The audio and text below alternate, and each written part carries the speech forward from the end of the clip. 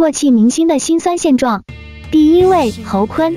当初因为法印一绝爆红，为了照顾患有抑郁症的妻子隐退，如今在直播间扮和尚卖酒。第二位刘家辉，曾经红极一时的功夫巨星，半身瘫痪后被经纪人私吞了财产，两任妻子都没来照顾，还教唆孩子分家产。第三位应小天，曾经是内地四小生之一，经历插刀门事件后人气一落千丈，在回归娱乐圈后的他也被新人替代。第四位明道，曾经的偶像剧一哥，霸道总裁的鼻祖，但自从明道入伍归来后，很少有耳目一新的作品出现了。第五位江华，曾经的古装剧男神，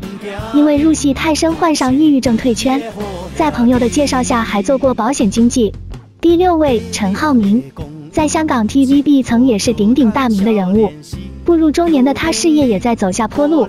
除了拍些烂片，还和妻子一起直播带货。第七位徐少华，《西游记》中最帅的唐僧，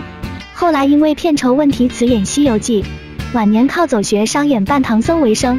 你觉得哪位明星最令人惋惜呢？